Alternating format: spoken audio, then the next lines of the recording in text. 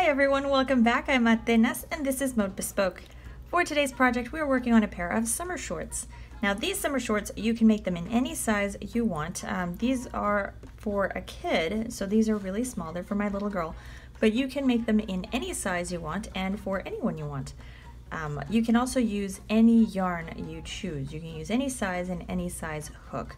We are going to be using both Tunisian crochet and regular crochet to make this project, so let's get started.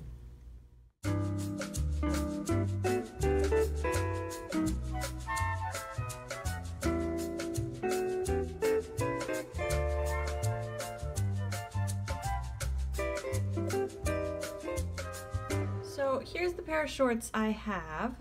They are kind of, well, they're pretty small. I mean, they're for a four-year-old. So I used a pair of her shorts that fit her a little bit big to get the measurements I need for her size specifically, and then I made the bottom part, the leg part, a little bit wide, so she's got some space to grow into them. Um, they do stretch a little bit. Uh, this is also worked in Tunisian crochet. The top is worked in regular crochet, and it's the elastic band at the top, so it's going to be really, really stretchy. We're going to be using the ribbing that you've seen in a lot of other tutorials, like in all of the beanies that I have posted. So it's pretty stretchy. We're also going to use that same ribbing down at the legs so that it also stretches.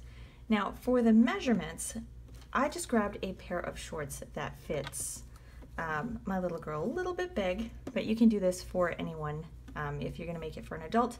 Just grab a pair of shorts that fits you or whoever it is comfortably and you get those measurements. If you don't have a pair, because these are going to be a gift, I will provide you with standard US sizing measurements um, for shorts on the blog. So check out the link in the description box below to get that information. But to get started, I'm just going to grab the shorts and I'm going to look for the widest side of the shorts. So the elastic band is a little too narrow, so her hips won't fit. So get to the largest, widest part of the shorts and measure there. So just grab a measuring tape and run it across. So in order for these shorts to fit my little girl, they need to measure 11 and a half inches. So they'll need to be 11 and a half inches across. So times two on that will be 23 inches. So we need to make our foundation chain at least 23 inches. Now, the stitch I'm using is the knit stitch in Tunisian crochet. It does shrink when you crochet it. So instead of having the 23 inches that I'll need for this project, I'll have to add, because when I uh, Tunisian crochet, my, my crochet shrinks about 20%. So I will need to add 20% more to that uh, initial change in order to end up with a project that is 23 inches around.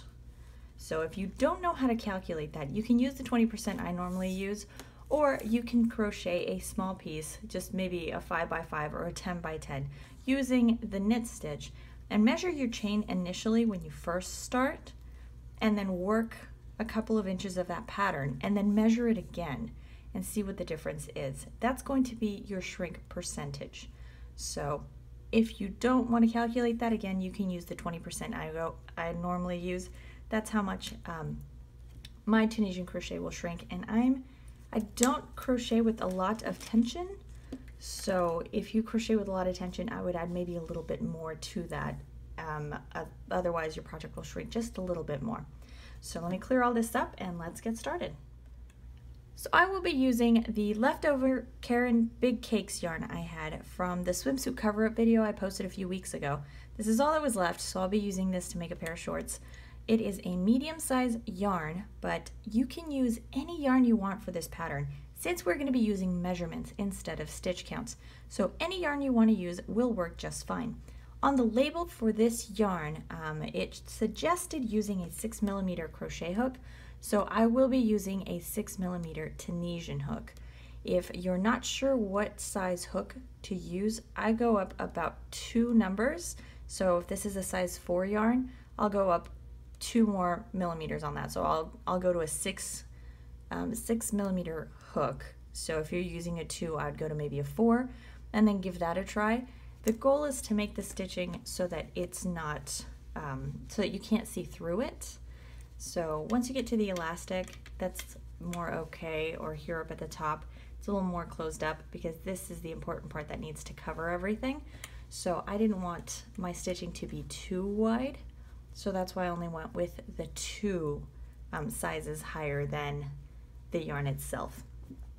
So to get started, let me zoom in here and we'll get started with a slip knot.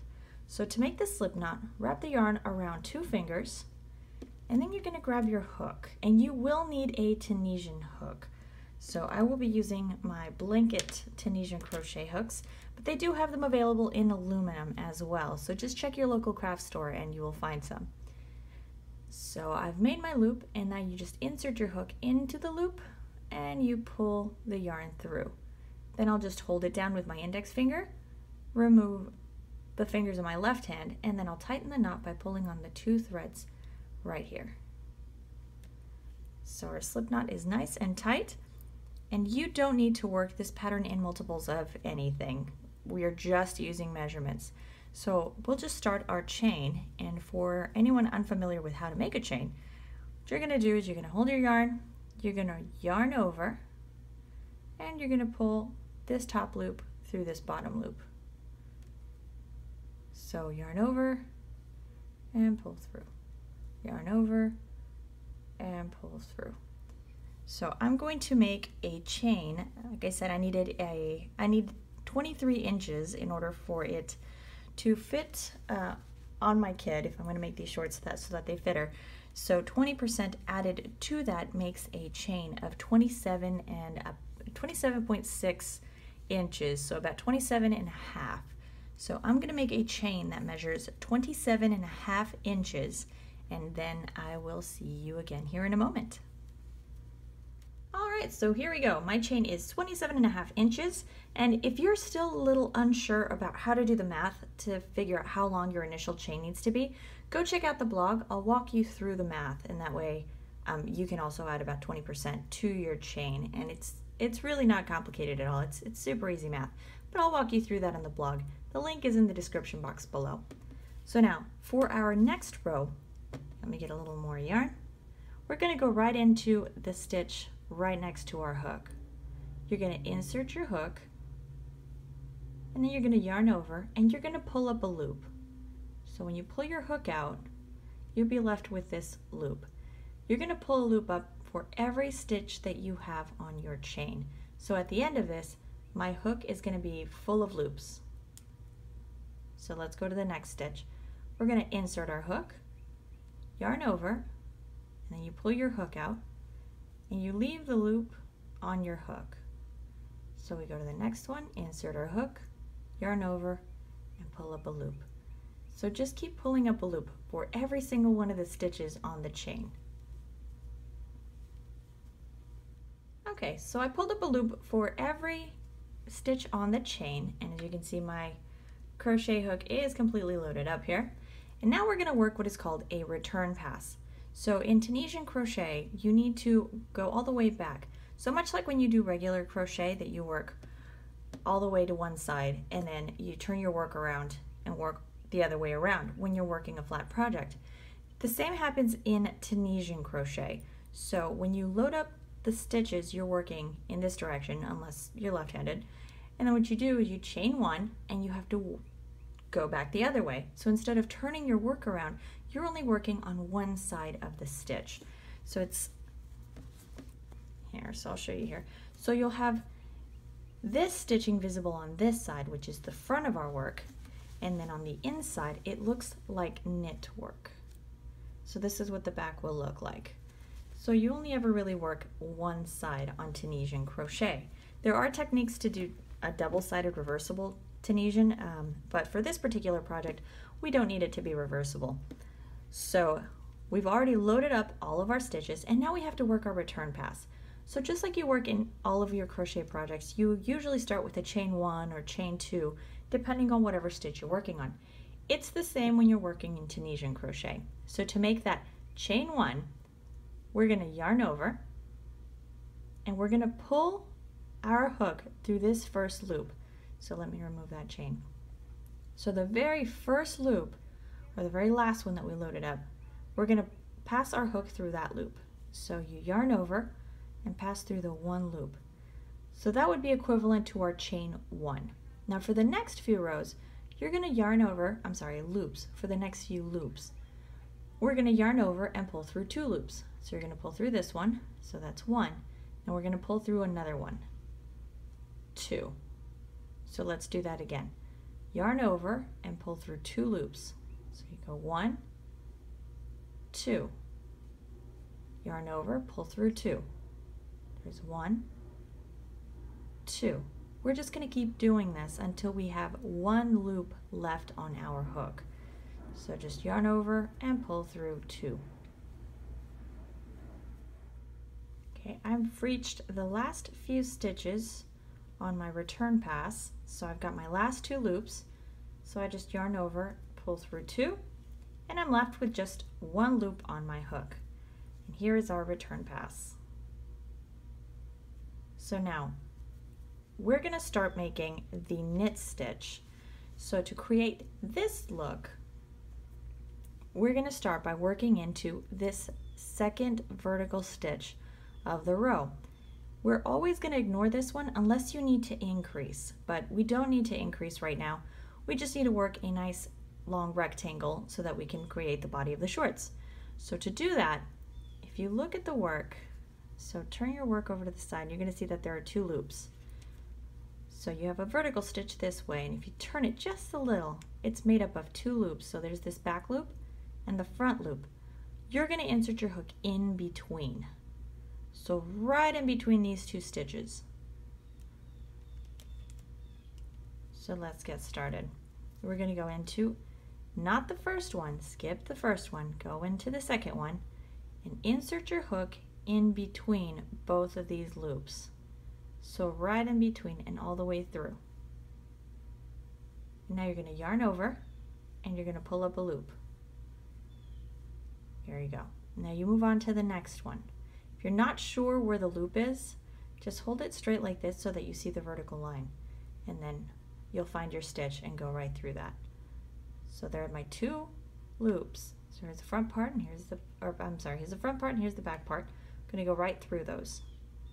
So insert my hook right through, yarn over, and pull up a loop. So go to the next one, insert my hook, yarn over, and pull up a loop.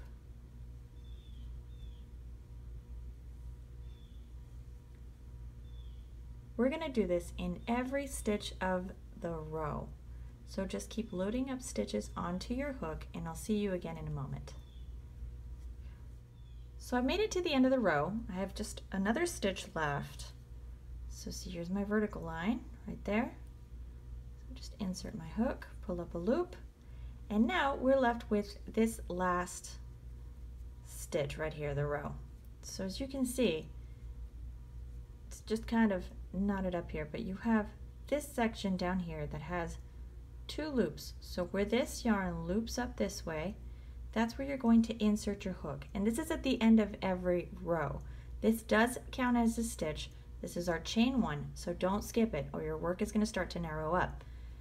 So insert your hook right through like that. So right behind both of these loops. and then yarn over and pull up a loop. I'll show you again in the next row as well. So now that we've loaded up all of our loops, we're going to do a return pass. So just like we did in the previous return pass, you're going to yarn over and pull through one loop, and there's our chain one. Now the rest of the row is worked as a yarn over and pull through two. Yarn over, pull through two. And we're just going to do this for the rest of the row until you have one loop left on your hook. So we're at the end of the row. So here we finished up our return pass. And here's what our work looks like so far. So for the next row and every other row, because this is just a two row repeat, so you're going to do the same thing when you're loading up all of the loops on your hook and then you always have to work a return pass. So that's all you do. It's just a repeat. So like we did in the last row, we are going to skip the first stitch. So always skip this first stitch. Go to your next vertical stitch, and then there are the two loops. So you're going to insert your hook right between the two, all the way through, yarn over, and pull up a loop. So insert your hook, yarn over, and pull up a loop. So there's my vertical stitch. Go right through the two loops and pull up a loop. And that's it. You're just going to do this until you get to the height that you need for the shorts that you want to make. So again, if you don't have a pair of shorts that you're measuring that you're working off of, that's okay. I've got standard US sizing for clothing and I threw um, different sizes in there for kids and adults. So if you choose to make this for an adult as well, all, that's, all that information will be on there. So if you're not quite sure what to measure, let me show you. Let me put this aside. All right, so lay these out. You're going to measure from right below the elastic because we're going to make an elastic band. So we'll make this. So don't include the, the elastic in your measurement. So place your measuring tape right below it and just go down. So lay the shorts flat and just measure down to here. So I need almost seven, so six and three quarters is about what I need for these shorts. Now, if you choose to make a really thick elastic, which is what I did here, um, I went a little bit shorter, so I just made six inches worth of um, height on my uh, crochet work. Then I stopped at about the six inch mark, and then I just made a thicker elastic. So for these, I'm not gonna make as thick an elastic band, so I'll crochet until I reach nearly the seven inches, and then we'll keep going from there. So as I was working this very last row for the almost seven inches worth of Tunisian crochet I was working on, I ran out of yarn. So I thought it would be a great opportunity to show you how to switch yarn colors um, in case you're getting a new skein or you're changing your yarn or anything you want to do. So I am currently in the middle of my return pass and I need to switch this yarn. So I got something that was similar size um, this is the same lavender yarn you guys have seen in the past few tutorials. It's just the never-ending Super Saver skein. Um, so what I'm going to do is I'm going to line up both threads like so. And then I'm just going to wrap them around my index finger and knot them up together like that. So then you just have to tighten them. Tighten them as much as you can and every all the threads that you can pull on just pull on everything make sure it's super super tight because we're going to cut off these little ends so we want this to be as tight as possible so that it doesn't loosen up at any point and then just unravel our work um, if you are concerned with uh, about that I suppose you can leave these little tails on there just continue to crochet and at the end of your work you can weave these in um, I however am okay with just cutting them off. I've done this a few times and I've never had any problems so long as this knot is super, super tight. So there we go. I've added my new yarn and now I can finish my return pass. So get everything tightened up and then just yarn over, pull through two, yarn over, pull through two until I finish this row. Okay, so I finished the return pass switched the colors so you can see the tiny knot back here. If your knot ends up in the front, you can just use a smaller crochet hook to pull it towards the inside of your work or a yarn needle, anything. You can just pull it and flip it so that it's on the inside instead. Anyway, so we've reached the end. Now we have to make the legs. So this bottom part that we started with, and something you can probably notice is that this is curling up. This is normal in Tunisian crochet. If this were to be a blanket, you can always um, do some, just steam it a little bit. Just make sure you never put the iron on the work. Just hover your iron with steam above it or use a handheld steamer. We are going to be adding an edge to it though, so it doesn't matter that it curls up because as soon as you add some of this other stitching, or this stitching at the bottom, the ribbing, it will lay your, your work flat. So this one was as curled up as this work is, but you couldn't tell since I've already added all the edging to it. The same happens if you make a Tunisian crochet blanket. It'll curl up like this, but if you do a nice border around it, maybe at least an inch um, all around your blanket, it'll flatten out your blanket. So, and then it softens up as you wash it as well, and it, it loosens up uh, the stitching so that you don't have problems later. Anyway, so to work on the legs, we need two legs, of course. The seam is going to be in the back of our shorts. So what we're going to do is we're going to fold this in half. So grab the other short end, line up your edges, and then go all the way to this side. And we're gonna we're gonna keep working where our yarn is. So this is gonna be the top of um, our shorts. So we want to put a stitch marker on our working side. So just make sure you line everything up, go all the way to this end, and find the centermost stitch. You can use anything you want as a stitch marker. A bobby pin, which I normally use.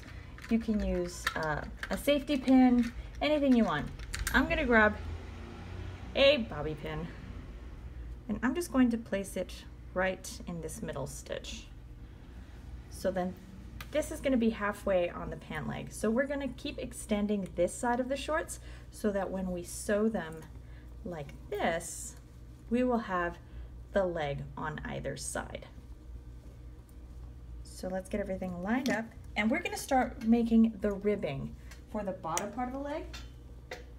And to do that, normally with Tunisian crochet, you have to do something that is called a bind off when you are through stitching, because as you can tell, well, kind of, these top stitches have a bit of a space. See, there's a bit of a gap between the nice little Tunisian crochet and this top end. You usually have to get rid of this and you can do it by using either a uh, single crochet or a slip stitch. We, however, are going to continue to crochet. So I'm just going to crochet my double crochets right into these stitches. So, because this is going to be a series of double crochets. So for our first row of double crochets, we need to start with a chain two. So I'm going to chain one and then two. Now, just like we did in all of this Tunisian crochet, I'm going to crochet, er, crochet right into this stitch.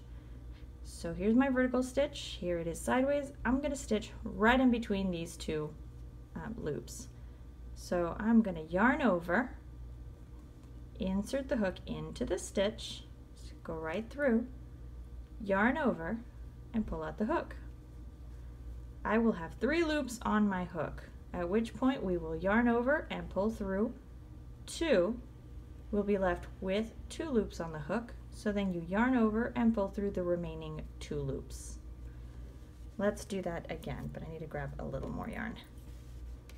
All right, so for a double crochet, you are gonna yarn over, insert your hook into the stitch. Remember to go through between both of these loops, okay? So go through those, yarn over and pull your hook out. We've got three loops. You're gonna yarn over and pull through two, yarn over, pull through two. Let's do this together one more time and I'll zoom in. So here we go. So yarn over, insert your hook between these two stitches and go all the way through, yarn over and pull up your loop. Then you yarn over, pull through two, yarn over, pull through two. So you're going to make a double crochet in every stitch until you reach your stitch marker. So get to this last stitch right here and I will meet you here in just a moment. So we reached the stitch marker and I've already gone through and made my last double crochet. So now for the next row, we're going to start with a chain two. So we chain one, two, and then we're going to turn our work around. So here we're going to work on the ribbing. So the ribbing is made up of alternating your double crochets, So you're going to make a back post double crochet, which is this one, and then a front post, which is this one that comes up. So if you look at this, you have back post double crochet, front post double crochet, back post, front post. So that's what we're going to set up now. And then it's just repeated to every row. So you work a front post in right where you worked a front post double crochet and a back post in where in the stitch that you worked a back post in. So we're going to do that here. So our first double crochet, try to move this here, you're going to see the stitches up on top. We're going to work on the actual post, which is down here. So this big space down there. So you're going to yarn over and you're going to work a front post double crochet. So your hook is going to go through the back of the post and come out the other way. And notice it's on the post, not on the stitch. You're going to yarn over and pull your hook out. And then you just finish your double crochet. The next one needs to be a back post. So you yarn over, and this time you're going to pull your hook in front of the post. So come in through the back, push the post back, and then come out the other side. So here's the post. If you look at it in the front, you've pushed the post to the back. Yarn over and pull your hook out. And then you just finish the double crochet. So that was a back post. This next one is a front post. So we yarn over, we insert our hook behind the post. So see, we're pushing it forward. So when you push the post forward, it becomes a front post double crochet. Finish the stitch. This one is a back post. So we yarn over, come up through the front, push the post back, and then yarn over, and we finish the double crochet. So there we go. Slowly starts to take shape. So you'll see your front post double crochet, the back post, front post, back post. Continue alternating until you get to the end of the row. So here we are at the end. I have one final post and then I have my chain. So this I worked as a front post double crochet, so I will need to work this one as a back post double crochet. There we go. And now we're left with our chain. So you do need to crochet into the chain so that you can retain the same stitch count. So for this, we're just gonna double crochet right into this space. So like so, and then just finish your double crochet. So now we chain two, turn our work around, and you're gonna repeat this as many times as you want in order to make the leg part of your shorts. So if you want these to be, you know, Bahama shorts, then you'll probably need to make these longer. So I would probably do that if these shorts were to be for a little boy.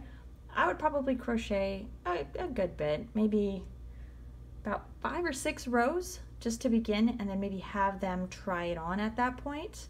So just kind of hold it up over their leg and just make sure that that's as long as you want it to be. Um, or, you know, just kind of go, go from there. If these are for a little girl and you want them a little bit shorter, or they're for you and you want them shorter, you can stop here. I'm going to make one more row of this. So to do that, and this is just so that you can also see um, how to add rows in case you want to make a really long ribbing. So if, I don't know if you can see it clearly, but this front post is, but this first post is a front post double crochet. So if you can't see it clearly, you see this little line? That means this stitch right here is a back post double crochet because there's a line going through it. This one doesn't, it's just a straight post. So these are front post double crochets. So after you've chained two, you're just going to insert your hook, oh yarn over, sorry. We insert our hook behind the post and then we finish our double crochet. We're going to work a back post double crochet into this one. You're going to see all these squares. So the top part are the stitches. You're going to work into these squares right here. So these little guys. So you're going to yarn over, insert your hook into that space, push your post backward, come out the other side, and then yarn over and finish your double crochet. This next one we're going to work as a front post, and then we're going to work the next one as a back post. So there we go. So you can just extend this and make it as long as you want. This is the last row I'll do on this side and then I will begin again right where I left off on this side to make this side of the, the shorts leg. So when you start on this side, what you'll need to do, let me grab a little bit of yarn. I use my stitch marker to hold this stitch in place so that I don't lose it. And what you're gonna do is normally you just leave a nice long tail end of yarn. We'll weave that in later. So I'm not cutting the yarn since I'm still working with it. But you're gonna go into the next stitch. So this one. Insert your hook all the way through and then yarn over. Remember to leave a tail end of yarn so that you can weave it in later and make sure it won't become unraveled. And then holding both of your threads, you're going to do your first chain. So you, we had to chain two to work our double crochet. So with the first one, you use both threads of yarn. You're going to chain one, drop the tail end that you're not that you're not using, and with your working yarn, make another chain. There we go. We have our chain two. And now you just go into the next stitch. So yarn over and then double crochet and yarn over and double crochet in the next stitch. And there you go, you've just started on the other side. Then you repeat the same number of rows you did here. So I'm gonna do three rows on this side. So the first row of double crochet, the, and then the two rows of extended front and back posts. So once I finish those, we'll start working on the ribbing for the top part. So we've gone through and finished the ribbing on both sides of the shorts, so each of the legs has the ribbing, and there is still a bit of a curl as you can see. But when you fold it, so this is one of the legs, and you're gonna fold this over and join these two so then you have one of the legs. You get rid of some of the curl. And then once we sew it all together, you won't have any more curl here. Um, we have to do the ribbing at the top, and we're gonna work it the same way that we did the ribbing here at the bottom. So I'll get you started on that really quickly. But for the ribbing here at the top, if you use the same hook that you used for all of this other stuff, you're gonna end up with a really wide elastic band at the top. So we want it to be a little more narrow. So what I did is I switched hooks. So this is a 4.25 millimeter or a G hook and I'm going to do all of the ribbing in this one. You can even go so small, you can even go as small, excuse me, as an F hook as well. So we're going to grab our yarn. Let me zoom in. There we go. You can go and um, you can go through and weave in these ends if you want. I'm just going to tuck them up here on top and hide them. So I'm going to stitch in between the little V's. So that's where I'm going to insert my hook. Leave a long tail of the uh, lavender thread and pull the loop through the stitch. And now we're going to chain one with both threads of yarn. So we chain one, and then we drop this thread, and then we chain a second stitch. So I'm going to hold all of these threads down just to make it a little easier to hide them. And I'm going to go into the next stitch. So just yarn over, insert your hook into that little V, and pull up a loop and then you double crochet go into the next one so we yarn over hold these down insert your hook into that stitch pull up a loop and finish your double crochet the rest of the work is done the same way as you did the ribbing here at the bottom so make sure you go through the same stitching. So if you're going to go through the V's, go through the V's. If you prefer to work in these little spaces, you can work in there as well. Just pick one and stick with it. So I'm going to work inside the V's. So I'll keep making my double crochets in each of the V's so that I don't increase. So I'll do a few more and then I'll let you go and finish the rest of this on your own. So here's the V and we double crochet we look for the V, and I have to hold these down, and we double crochet. There we go. So I'll keep working this all the way around. I'll, I'll do a few rows to finish the ribbing and then I'll show you how to sew all of this together. So to begin sewing, this is the back inside part of our Tunisian crochet. So here's the pattern itself. So this is the design that we want on the outside. So turn the fabric over and line up the two little legs.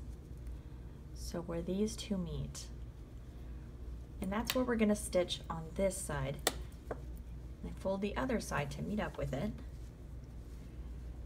And then we'll stitch this down here to the middle and then we'll stitch each of the legs at the end. So we're gonna line up our work and then I've already threaded my needle and I've made a little knot at the end. So I've knotted all of this up. I'm gonna start here at the top.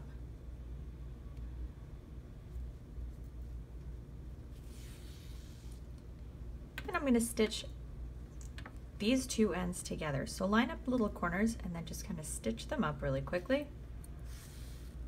So I'm going to double it up just to make sure that it is firmly sewed together. And for these, I'm just going to stitch through like this on one side.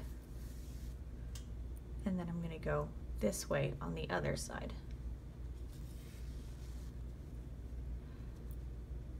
And then just do that all the way down the purple. So we're all the way down our elastic band. So I'll work on this quickly. Make sure that your stitches are nice and small. Otherwise, when they pull on this um, to put the shorts on, this might pop open. So make your stitches quite small and take your time.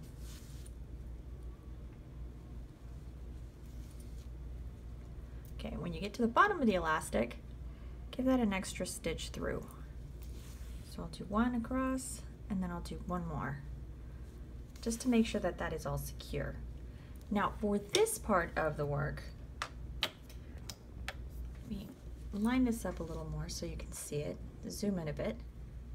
So for this next part of the sewing, what you're gonna look for is you're gonna turn your work around and you're gonna see these stitches on the side. So they look similar to these, but they're on the side of your work.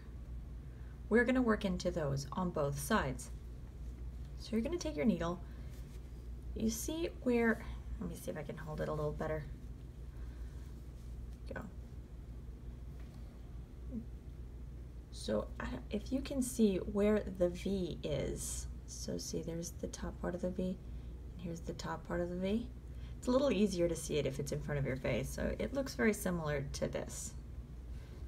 So if you work into those, you're going to stitch in to the bottom part of a V, so I have one down here. You're going to pull up your needle on this side. Then you're going to turn your work and do it on the other side. So there where the V is, and you come in, you come out in the middle of the V. And now you're going to go to this side, and right where your thread came out, so here's where the thread comes out, you're going to go right into that stitch again. So that's where you're going to insert your needle and then come out on the stitch above it. So right in the middle of the stitch above it. And then do the same on this side. So this is where the thread comes out. Go into this stitch and come out the top stitch. Do the same on this side. Go into that stitch showing where that stitch came out. So it was going to be this one, go out the top. The top one's just a little awkward to see with the lighting. So our thread came out on this stitch, so we go into this stitch and come out the top one. So just keep working your way up, sewing slowly, and then every couple of stitches you can go through and tighten it up a little bit. Don't make it too, too tight. You need to tighten it up a little bit and then loosen it up just a tad. Go through and work all the way to the top. Okay, so I stitched all the way up to the top. And now we have to stitch the two little legs. So if you used the same color yarn as the rest of the stitching down here, it's a little easier to just loosen it up and you won't be able to see the thread. But I have to tighten this a little bit just to make sure that my purple thread is hidden and you can't see a line of the purple thread. All right, so we have the two open parts and we have the two legs. So you're gonna line up this bottom part and this bottom part, and we're gonna give that a stitch. So this one, we're just gonna hold them together and then just stitch right through. And I'm just gonna go working on this side. Just stitch up the side using whatever stitch you want. Unless you have color changing yarn here, then you might want to use the same stitch that you use down here. But since mine is all the same color, I'm just going to stitch this up like this.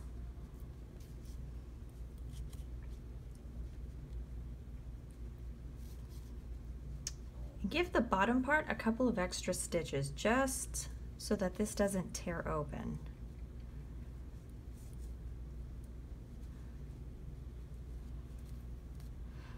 Then go through and knot up your yarn and hide it.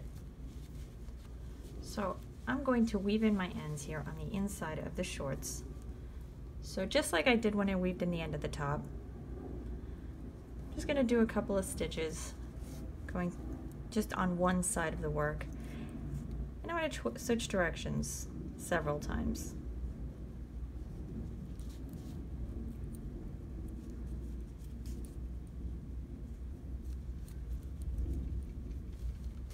There we go. Pull that tight. Give that a bit of a tug. There we go. So we have one side done. Now we just have to sew up the other side. And then if you want to hide this a little bit more, just give it a couple of tighter stitches. So I'll probably start on this end and then stitch down here and give it a few tight stitches. Then I'll weave in my ends and that's it. So here are the shorts. There you go. Now if you want to do something extra and add some little pockets or something, you can use this same stitch or just a simple um, crochet and make a small little pocket, either for here or for the back. But that's it. So we have two little pairs of shorts and these are ready to go for summer. Don't forget to stop by the blog to get your copy of the free pattern for this project and many other projects. If you haven't subscribed, hit that subscribe button. I post videos every Thursday. If you have any questions or comments, leave them down in the comments section below. I'm also open to suggestions for different video tutorials, so if you have any suggestions for another project you'd like to see, leave it down in the comments below. Follow me on Instagram if you want to see any more of my projects. Don't forget to like and share if you've enjoyed this video tutorial. Thank you so much for watching everyone and I'll see you again next week.